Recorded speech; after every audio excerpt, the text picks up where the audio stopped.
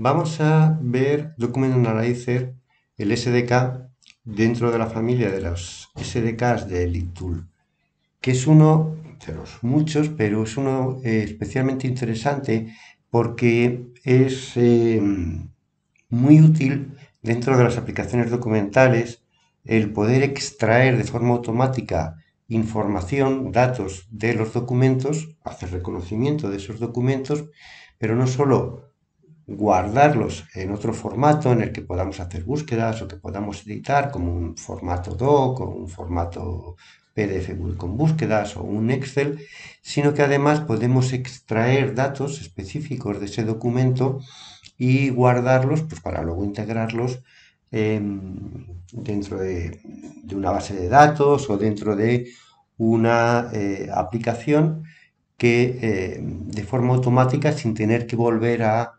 eh, teclear esos datos o de forma manual extraerlos. Es una de las eh, tipos de aplicaciones eh, más útiles y más requeridas en este tipo de, trabajos documentales y además es uno de los SDKs donde más se ve o más claramente se, se hace patente la inversión que ha hecho Tools en inteligencia artificial y máquinas de aprendizaje, el Machine Learning. Porque realmente el Document Analyzer es capaz de analizar de forma muy eficiente los documentos que, em, le damos para reconocer y em, saber localizar qué tipo de dato em, necesitamos, ya sea un documento estructurado o no estructurado. Cuando hablamos de documentos estructurados estamos hablando de aquellos que tienen un eh, formato eh, perfectamente fijo, tipo un formulario, o no estructurados, que puede ser un texto normal, un contrato, por ejemplo, donde haya diversos datos que queremos eh, obtener, aunque puedan estar en diferentes Mm, lugares del documento, aunque el documento tenga más de una página, tenga varias páginas.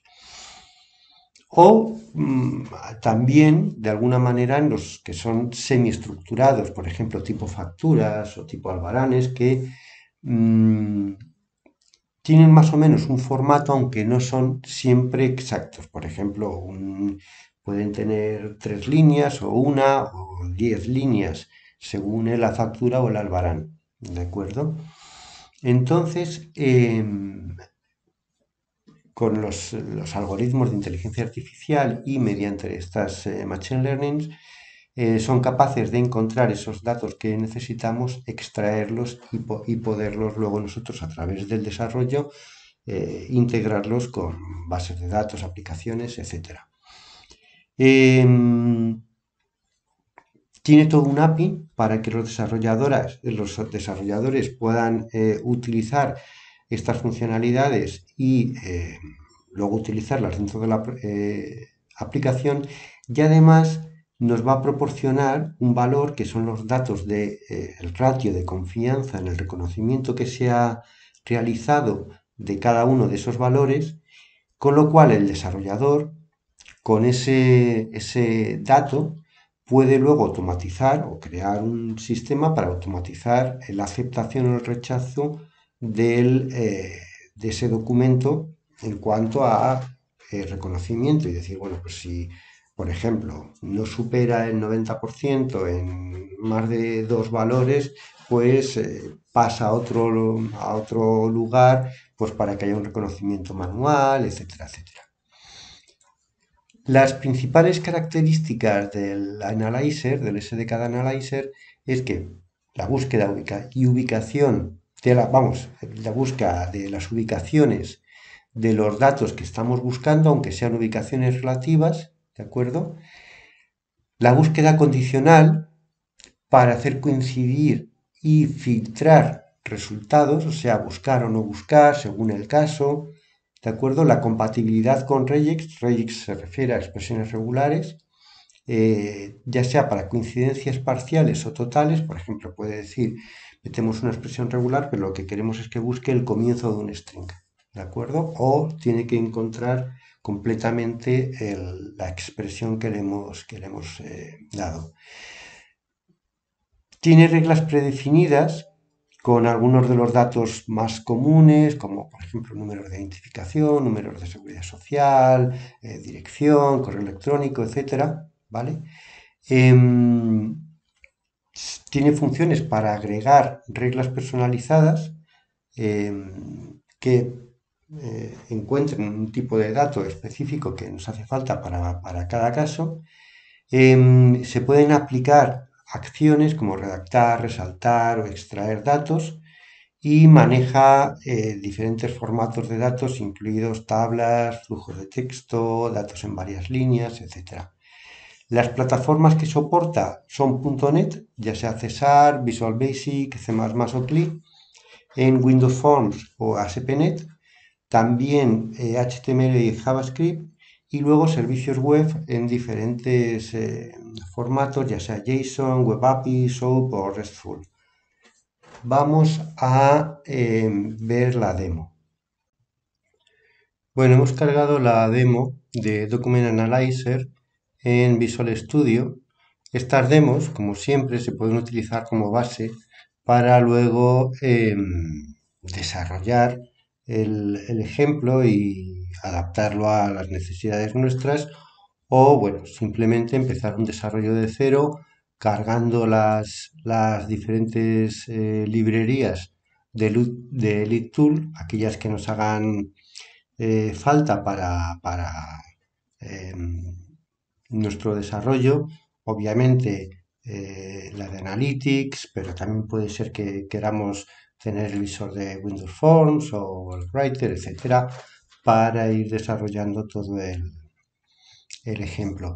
Vamos a ver un poco cómo funciona eh, Analyzer.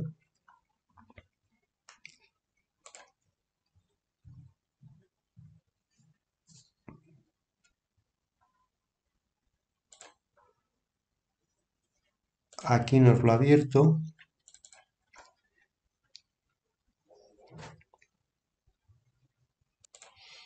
Aquí ya tenemos cargadas reglas estándares y reglas personalizadas. Estas reglas que tienen esa T delante son las reglas estándar y estas con este simbolito son las reglas personalizadas. lo principal para eh, empezar a analizar un documento es crear este tipo de reglas. ¿Qué es lo que va a hacer una regla? Em, buscar un patrón de texto mediante todos los algoritmos que tiene de inteligencia artificial y de machine learning y em, obtener o recuperar eh, dos partes. Una es parte será la etiqueta, por ejemplo, en este caso, pues el, name, la etiqueta que dice qué tipo de valor tiene y el otro será el valor, que será para cada caso, para cada documento, pues el valor que tenga esa etiqueta. ¿De acuerdo? Entonces, cuando creamos o utilizamos una, una regla, vamos a tener que mm, trabajar con estos dos valores, la etiqueta y el valor. En este documento de ejemplo tenemos dos páginas y ya tenemos todas unas reglas, eh, todas unas reglas eh, eh, predispuestas, tanto reglas personalizadas, por ejemplo, esta de name, que tiene, como decía, una etiqueta, que es la que busca, va a utilizar expresiones regulares para encontrar esta etiqueta, podríamos decirle que coincida en el case, que mm, la etiqueta se puede expandir en múltiples eh, líneas, etc.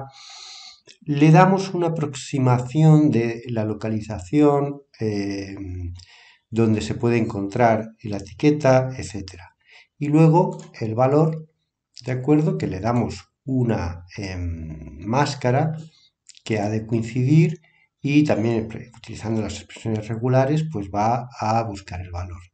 También podemos personalizarlo, pues que, mm, coincida en el case, que mm, coincida toda la palabra, que ignore los espacios en blancos, que ignore eh, las palabras que son más cortas de una letra, etc. Y aquí eh, podemos decir que cuando hace el OCR de reconocimiento puede utilizar eh, la autocorrección para los números o la autocorrección para cuando hay alguna em, letra o alguna em, eh, texto que no encuentra bien o que utilice la máxima autocorrección, que es un poco más lento, pero va a utilizar em, eh, patrones que tienen que ver tanto con el reconocimiento de texto como con el reconocimiento visual. Y luego también podemos Em, indicar que eh, en los resultados que se incluya toda la palabra o que se incluya toda la línea. ¿De acuerdo? En cualquier caso, que luego vamos a ver cómo crear estas etiquetas, todo esto también tiene una forma muy sencilla de hacerlo. Aquí, una vez que ya tenemos todas estas etiquetas para este documento, simplemente podemos ejecutarlo o bien para todo el documento o bien para la página que en ese momento tengamos eh, seleccionada, ¿de acuerdo? Y, em, y que nos haga el reconocimiento. Vamos a hacerlo. Y aquí tenemos los resultados. ¿De acuerdo? Estos serían los textos de resultados. Si hacemos doble clic, nos indica dónde está el eh, valor que ha reconocido para que podamos comprobar que efectivamente ese es el, el, valor, ¿de acuerdo? Que eh, queremos, eh, queremos o está reconocido el valor de forma correcta, ¿de acuerdo? y bueno, podemos ir haciendo el seguimiento, etc. Eh, internamente tenemos un valor o un rango que nos devuelve eh, la librería diciéndonos eh, con qué, qué, rango de confianza em, ha tenido en el reconocimiento de cada dato. Y eso, no en este ejemplo, pero sí está disponible para que en desarrollo, cuando hacemos la aplicación, Em, podamos automatizar de alguna manera la aceptación o no aceptación del reconocimiento de un documento. Por ejemplo, podemos decidir que si mm, hay algún campo que tiene un rango un ratio, perdón, de reconocimiento eh, por debajo del 85%, pues que no aceptamos el documento y que lo que tenemos que revisar que si es por encima, etcétera, etcétera. ¿De acuerdo? Bueno, y aquí estarían en la página y el valor de cada uno de ellos. Hacer em, las reglas, ya sean personalizadas o estándar, es bastante eh, sencillo. Hay algunas que, como hemos dicho, son estándares y que están aquí disponibles para eh, utilizarse. Pues, por ejemplo, teléfono. ¿De acuerdo? El valor es este. Eh, y estas de aquí son los diferentes tipos de reglas estándares que ya vienen previstas. ¿De acuerdo? Con sus etiquetas y sus valores. Pero la creación de una nueva regla, una regla personalizada, es realmente muy, eh, muy sencilla. Hemos vuelto a cargar el documento para no tener ejecutado el análisis y empezar eh, de cero. Tenemos diferentes formas de eh, crear una regla, pero por ejemplo una sencilla es, aunque ya aquí está creada, este, pero por ejemplo podemos crear una regla para que reconozca este cambio en porcentaje, ¿vale? Entonces lo que hacemos es seleccionamos el valor y con botón derecho creamos una regla él ya nos dice, mira, este valor, yo te recomiendo que utilices el tipo de, de valor como porcentaje porque es lo que me parece. Y este es el que me reconoce. Podría ser un enlace, un entero positivo, un entero, un número positivo, un literal, un texto. ¿Vale? Yo voy a mantener el, el de porcentaje, que es el que me recomienda y porque además es un porcentaje. Ok, el valor ya lo coge de ahí y ahora le damos a editar. Tendríamos que darle a esto un nombre que no fuera Standard Future, que fuera pues eh, mm, cambio en porcentaje, ¿vale? Y em, el valor ya lo tenemos. Ahora lo que le tenemos que dar es la etiqueta, que es lo que va a utilizar él para em, eh, encontrar esos valores y para además, eh, o sea, no solo encontrarlos, sino para poder etiquetarlos, decir a qué, a qué valor corresponde. ¿De acuerdo? Entonces, aquí lo que podemos em, teclear es el nombre de la etiqueta, que en este caso sería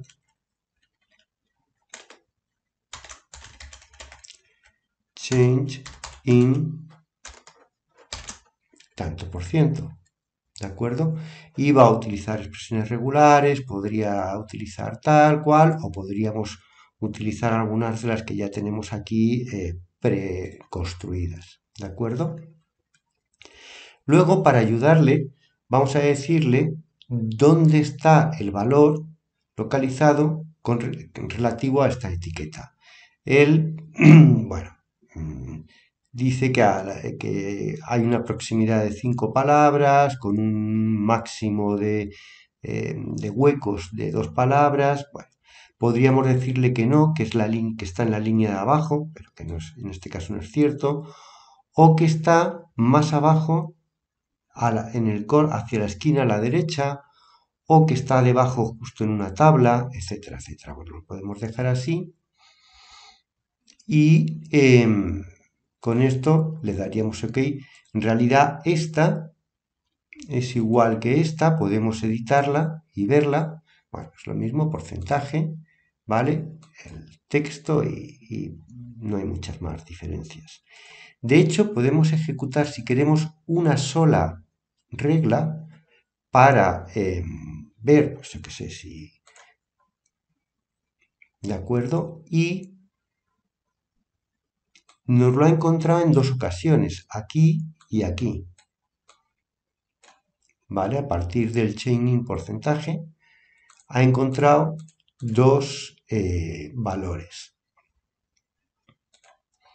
También, si fuéramos a ejecutar eh, todas las reglas, podemos eh, decirle que hay alguna regla, por ejemplo, que queremos excluir y que no se ejecute tanto de las estándar como de las eh, personalizadas, aplicando este, estos eh, botones. Por supuesto, todos estos son botones de ejemplo, de un pero dentro de la librería tenemos pues, infinidad de, posibilidades que no sean solamente para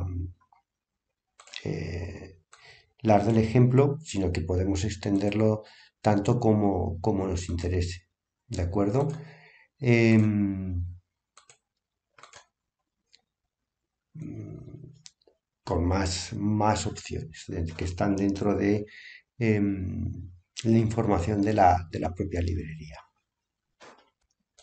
Y por supuesto, eh, una vez que hemos eh, generado, editado, etcétera, podemos guardar nuestras reglas como un documento JSON, ¿de acuerdo? En donde eh, quedan em, guardadas y, luego podemos utilizarlo con, en combinación con otros documentos, ¿de acuerdo? Eliminando o deshabilitando las que nos interesen o, bueno, adaptándolo como, como más nos, nos guste.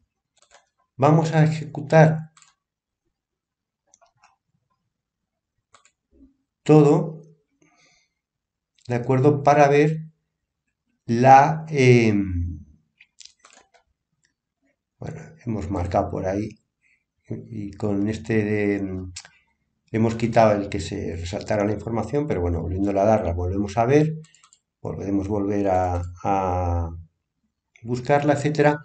Y una vez que está toda la información extraída, esto ya lo podemos exportar, em, exportar solo los resultados o con el eh, documento. Si exportamos los resultados, básicamente lo que vamos a exportar es, vamos a dejarlo en el escritorio esta vez para verlo, por ejemplo, eh, resultados, ¿de acuerdo? Podemos sacarlo a un CSV, a un fichero JSON o a otro tipo de ficheros. Vamos a hacerlo en un CSV para verlo fácilmente. ¿De acuerdo? Y ahora para verlo vamos a em, ver el CSV. Eh, podemos verlo en Notepad, etcétera, pero vamos a verlo desde un Excel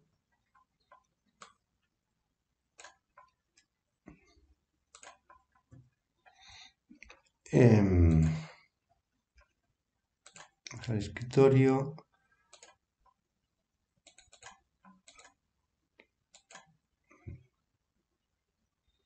Es este de resultados. ¿Vale? Em, bueno, podemos importar para que se vea mejor, etcétera, pero vemos que tenemos eh, la página, la etiqueta, el valor y el dato de confianza en el, o el ratio de confianza en el reconocimiento.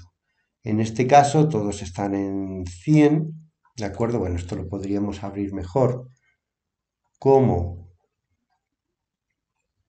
una, importarlo como una tabla. Lo voy a traer aquí